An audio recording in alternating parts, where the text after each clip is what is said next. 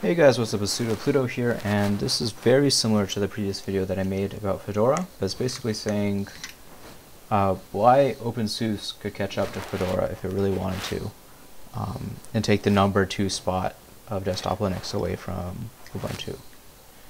But yeah, um, uh, I, I wasn't originally going to make this video because my OpenSUSE days were long in the past. Uh, let me just drink some, some coffee real quick.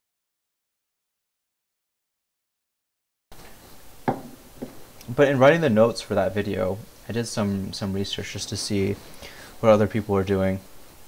And it was funny to see that the problems that I had with OpenSUSE almost like five years ago now, you know, half a decade, is is still submitted three days ago. Holy crap. It's it's still there. And submitted two days ago. Um, nothing has changed with this distribution and I think it's it's kind of funny, but it's also kind of sad. Um, but yeah, let me just get why why OpenSUSE is so stale and how it can catch up to uh, Fedora if it wants to for desktop Linux. Um, so we talked about all the all the things that Red Hat and Fedora have been doing for desktop Linux in the past eight years. Um, but what has Ubuntu, uh, OpenSUSE been doing in that in that same time? You know, we already know that Ubuntu has been doing nothing, but what have what have what have the chameleons been up to?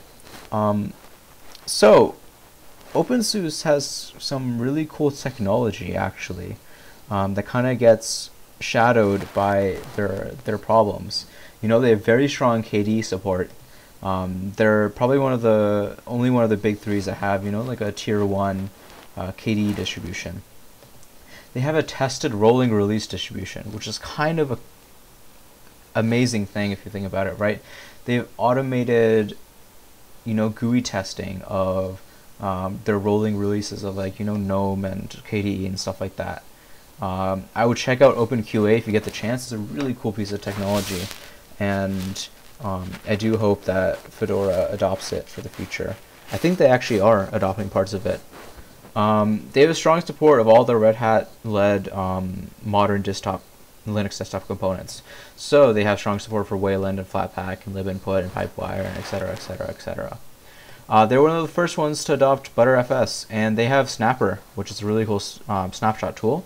That every time you do a package manager operation, you take a Btrfs snapshot of your file system, and if for some reason that upgrade goes bad, you can roll it back uh, to before you completed that transaction, which is really cool and really ties into the whole rolling release part, right? Where if you're using this, something like Arch and you have a bad update, you know, you kind of have to fix it. Meanwhile, for OpenSUSE, if you have a bad update, you just roll back and then just wait for things to iron out um, and then just update later.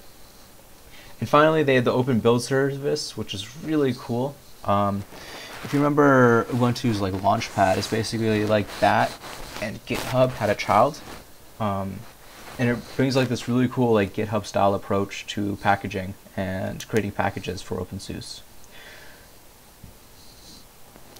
So, OpenSUSE does have a lot of you know, competitive advantages, at least compared with something like um, Ubuntu. Uh, they have all this cool technology and all this cool work done, but if they want to be a like a strong contender for, you know, the the Linux desktop, there are some huge paper cuts that you know I've experienced five years ago when I was like distro hopping and trying it out, and then as you can see in the Reddit threads for our OpenSUSE, still exists today. And a lot of it is based off of just the polish um, and the kind of packaging mentality that goes behind uh, creating the final uh, desktop release. So the first paper cut is really linked together. Um, it's the choice of dependencies for packages. Um, so they have patterns, which is basically like a meta package, or like groups in Fedora. And these patterns are ridiculous. Um, I don't know if you've ever installed OpenSUSE, but uh, when you install, you know, the default OpenSUSE pattern, right, the OpenSUSE desktop for GNOME, you'll install like three VLC clients, sorry, VNC clients. You'll install, you know, every single LibreOffice thing known to mankind Uh, you'll install Pidgin for GNOME, which I don't know why you're installing that by default anymore. Um, everybody's using, you know, Facebook Messenger and GChat stuff like that. Who uses Pidgin? Uh, it's a very kitchen sink, but even more so kind of approach to package selection. And that's really true with the rec recommended packages, right? If you install something, you end up pulling a bunch of dependencies, and because of the recursive nature of dependencies, um, and the fact that recommended packages are on by default, is that you know when you install a program, you you get everything, every possible dependency under the sun, pulled alongside that program, as well as all the possible dependencies of those dependencies and, and, you know how exponentially that grows. So what ends up happening with these overzealous patterns and these strong recommendations for for packages is that a normal install of OpenSUSE is just and, and part of my language, right? It's it's it's a bloated pile of crap with no refinement. Um, if you look at the default uh, application selection for Fedora, right? Uh, you can see that you know, uh, uh, GIMP was installed by default, right? Firefox was there, yeah. Text editor was there, settings was there, but all this other stuff I install myself because I know what I want to use. Um, like I can't see anything that was forced upon me. Like Rhythmbox, okay, cool, that's cool. Like Fedora does it very well, and I, I and I think Ubuntu does it well. Does it well as well, where they really tone back all the packages they install and let the user end up using the App Store um, to discover their own packages instead of forcing it upon them. And there's kind of something ridiculous that I read back in the day when they were trying to justify this, and it was like, uh, oh, not everybody has high-speed internet, um, so therefore we want to fit as many packages as we want onto the ISO. and and to that I say like bullshit. You know, everybody's watching YouTube videos nowadays. I'm sure they can spare the bandwidth to download the extra packages that they need instead of being forced to download everything onto a DVD sized ISO to make a live media. Like, it, it's just ridiculous. Um, some other weaknesses are uh, the weak third party repo support. So Packman doesn't have a North America mirror which means that downloads are very slow. And for a rolling release like Tumbleweed, right, that makes updates very painful, very, very painful. And just in general, um,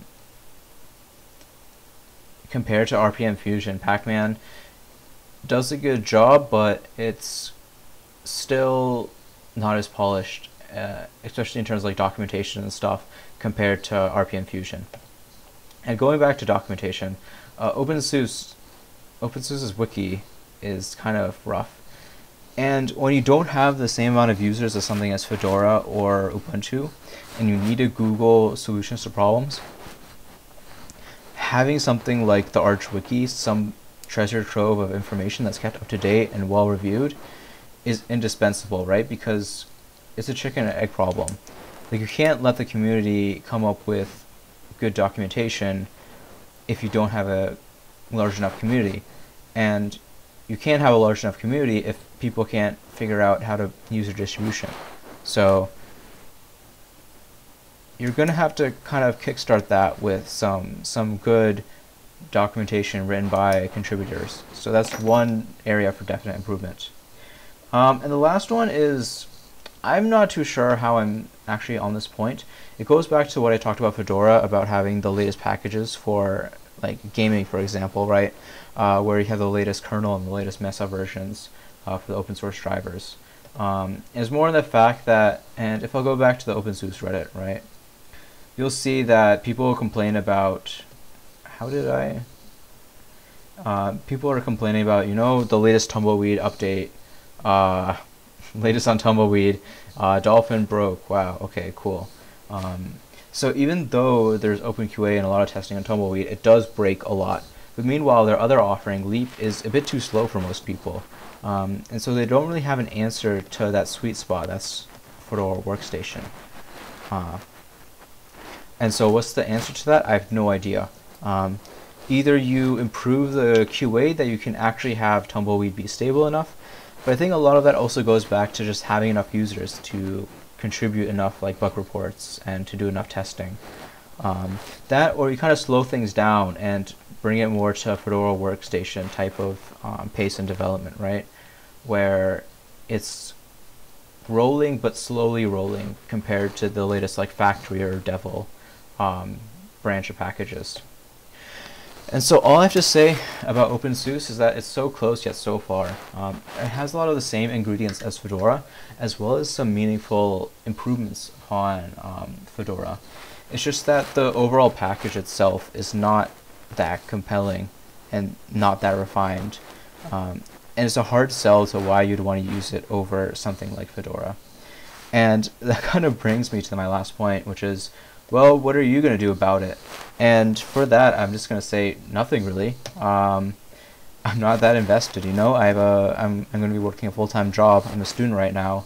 Um, I have a limited time, and I'm not going to spend it working on improving a distribution that I don't even use. Um, so, yeah.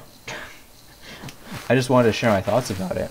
Um, if I was invested in OpenSUSE, or if something terrible happened to Fedora, right, um, then what I would do is I would take very clear inspiration from both KDE Neon and Fedora Workstation, right? KDE Neon is a very good uh, representation of what a ideal uh, KDE desktop would look like, and Fedora Workstation is the same for GNOME, and I'd use that to both get functional KDE and GNOME desktop patterns. Um, and to really take that as a starting point and just work your way down the dependency tree and make sure that you're having sane recommends um, and same patterns where you're not installing half of the available uh, repository uh, just because you want to have a DVD ISO size file. Um, it's kind of ridiculous to say. Um, and for that, um, work on the documentation. That's pretty simple. Uh, make it Flatpak first, um, so users can avoid Packman as much as possible. Uh, no offense to Packman because you know they're doing a really good job and a really thankless job. Um, obviously, um, considering how much I'm ragging on them, but Flatpak is really the way that things are going, and they should be going. Um, for third-party software, it should be preferable to go to FlatHub first before you try to go to a third-party repository like Packman. Um, and in general, if I wanted to improve things, um, I feel like OpenSUSE could really use a lot of work on refinement. And for that, there's no better example um, than what uh, Nate is doing with KDE, doing like a This Week in KDE updates on all the paper cuts being fixed. Um, and yeah, so explain why I'm not that invested and why I'm probably not going to do anything about it, but why wait for me? Um, if you like OpenSUSE or you like the underdog or you just are bored and need something to do, you know, why not give this a shot? Um, the competition is good for everybody, right? And it's and it's it, the the reason why Ubuntu stagnated was that there was no competition until Fedora Workstation showed around, you know. Um, and so I, I don't think it's that likely, but we could face the same situation where you know Fedora and Red Hat kind of get complacent, and you know they need a kick in their butts from a new upstart to kind of um, improve things. But the good thing about competition is that everybody wins, um, and you're you're really forced to improve things. And so um, I really wish the the best of the luck for the OpenSUSE project, and I really hope the new adaptable uh, Linux platform, which is I think kind of their spin on Fedora Silverblue. I couldn't tell too much from the blog post. Um, I really hope that works out, um, even if they don't go ending up this route to make a top tier desktop Linux distribution. But yeah, hopefully you enjoyed my commentary or my points. Um, and if you didn't, please please feel free to, to let loose your disapproval and your harsh words in the comments. Yeah, I hope you guys enjoyed, and this is Sudo Pluto out. See you guys later.